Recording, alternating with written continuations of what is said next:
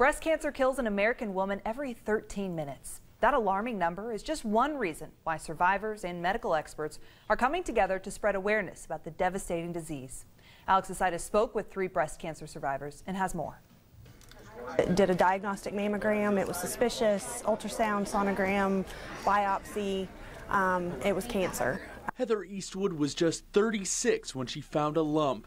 Like so many breast cancer patients under 40, she wasn't scheduled to have a mammogram yet.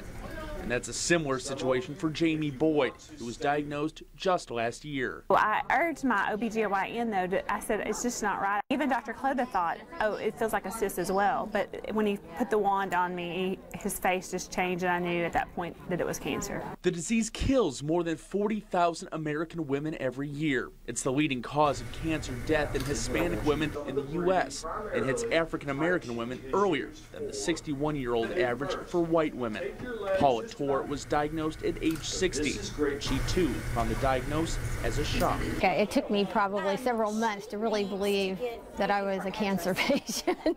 None of these women had a history of breast cancer, and as daughters, mothers, and sisters, they vowed not to let the cancer beat them. Cancer is, is often thought of as a death sentence, and um, I didn't want to die. I was too young to die, um, but I knew that I was going to get through it. Tor spent time trying to distract herself from the four weeks of radiation and other treatment as a patient in 2014. I had started walking with the aspirations to run again.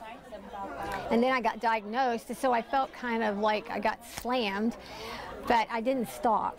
I kept walking and kept working up to it. Eastwood, Tor, and Boyd all say they'll continue to be vigilant about breast cancer screenings. Listen to your gut because most times women's intuition, you know when something's not right, and just get it checked out. A lot of times it is just a cyst, but it's better to be safe than sorry.